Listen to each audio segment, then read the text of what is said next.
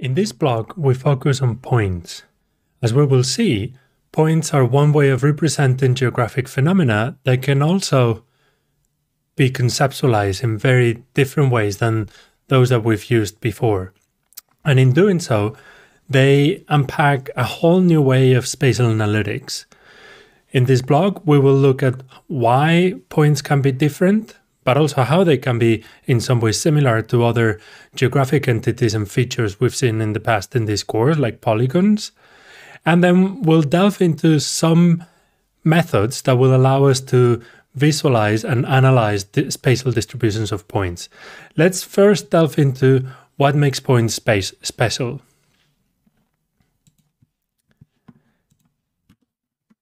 To start the discussion on points, it's best to start with the bits that we already know. And this is when we understand points as polygons. And in this context, points represent fixed entities, which is to say, we are representing a segment of the world or a set of uh, objects of the world, but we're considering them as fixed entities. We're, in other words, we're considering or we're assuming their location to be fixed and given. And in this case, when we do this, points are qualitatively very similar to polygons. And more importantly, everything we've learned in this course about dealing with poly polygons can be applied directly to points. For example, we could use uh, spatial autocorrelation techniques such as uh, Moran's I or local indicators of spatial association to look at a point data set that we've been given only and always as long as we understand points as fixed entities whose location is given. Because when we take this approach, the location is fixed, and what we're trying to uh, model is some attribute that is attached to this point. A couple of examples of this uh, point of view is when we look at cities, for example, or buildings. Buildings can be represented as uh, footprints, building footprints, and in that case they would be polygons, but they can also be summarized into a single pair of coordinates. And in those cases, poly well, and a more general case of these would be when we represent polygons by their centroid.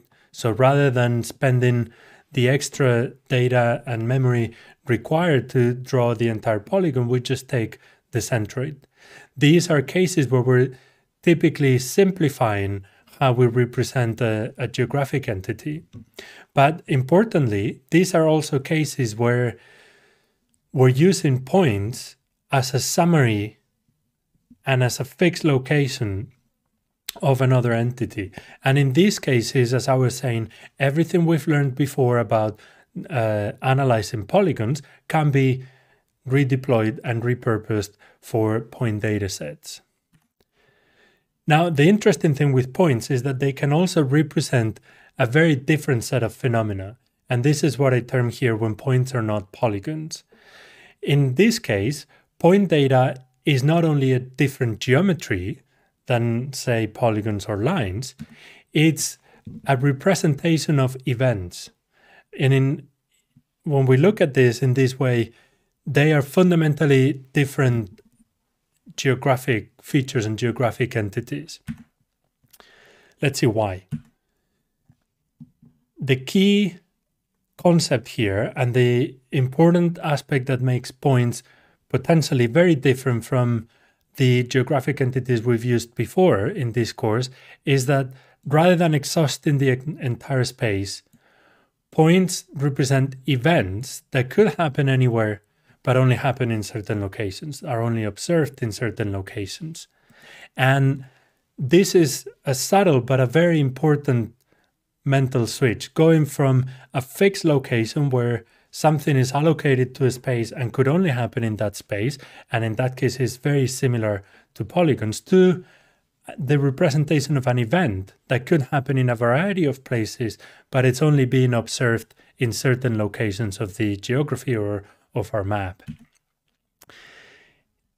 Why is this important? Because when we look at points in the, through this lens, the location of the event is part of the process we want to understand is not a given that we take from the start and then we use to analyze something else is one of the core goals of our analysis is understanding why these processes these events that happen they could happen in many places but only happen where our points are recorded are happening there.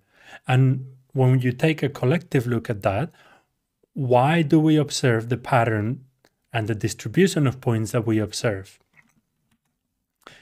and when we look at points through this lens, one of the main interests becomes characterizing this pattern. In other words, describing formally how points are distributed over space.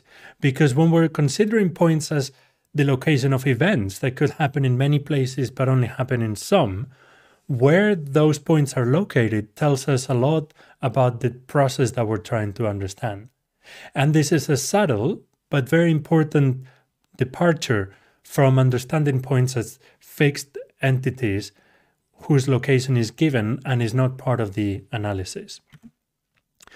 A couple of examples of this understanding of points or of cases where we use points to represent events rather than fixed entities.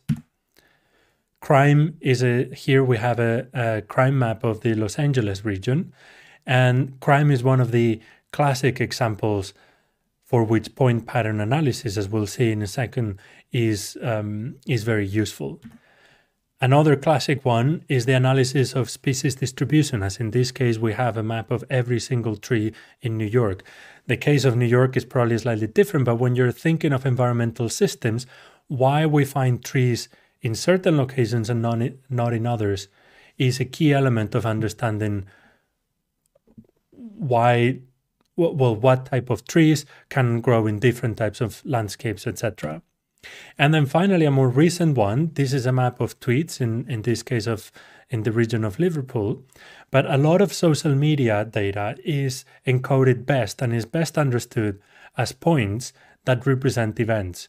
In the case of tweets, for example, the event is the posting with a geotag of a tweet. But in the case of uh, check-ins or Facebook likes that are georeferenced. Um, these can all be seen and categorized as events that could happen in a variety of places, but are only observed in certain parts of the map, in certain parts of the geography. This gives rise to this term of point patterns, a, a, collection of points that is understood as a series of events that happen only in certain locations. And Point patterns studies the distribution of points over a portion of space. The key assumption here is that a point can happen anywhere in the geography that we're studying, but actually in reality only happens it's only observed in certain locations. And point patterns or collections of these types of points can be of usually are classified at least in two different um, types. One is unmarked point patterns, and this is what we're going to spend uh, most of our time in this block, where we only record locations, or marked point patterns, where we record the location of the event, but also we attach certain characteristics. And point pattern analysis is a wide field, there's a wide subfield of spatial statistics. Uh, it's about describing, characterizing, and explaining point patterns or distributions of points when they're understood as events.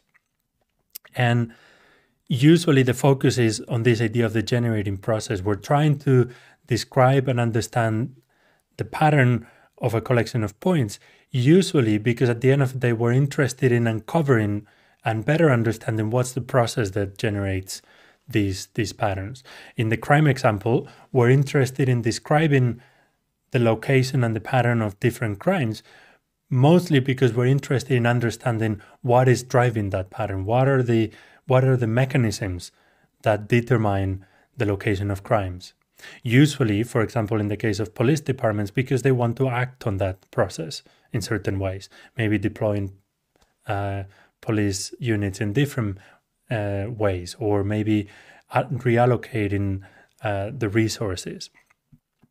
But going back to point pattern analysis, usually the field is the this is split into three main uh, field or three main areas.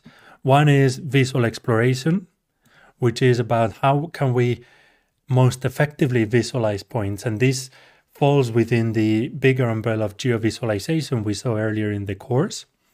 The second one is understanding in an exploratory way clustering properties and the identification of clusters. And these mirrors in several ways or falls also under can fall under the umbrella of exploratory data analysis exploratory spatial data analysis or ESDA as we saw in in a previous block and then the final uh, stage in the process of analyzing point patterns relates to statistical modeling of the underlying processes. And this is when we're trying to uncover what are the main determinants that generate the point patterns that we observe. In underline, we have the two areas that we're going to focus in this block with a bit more detail.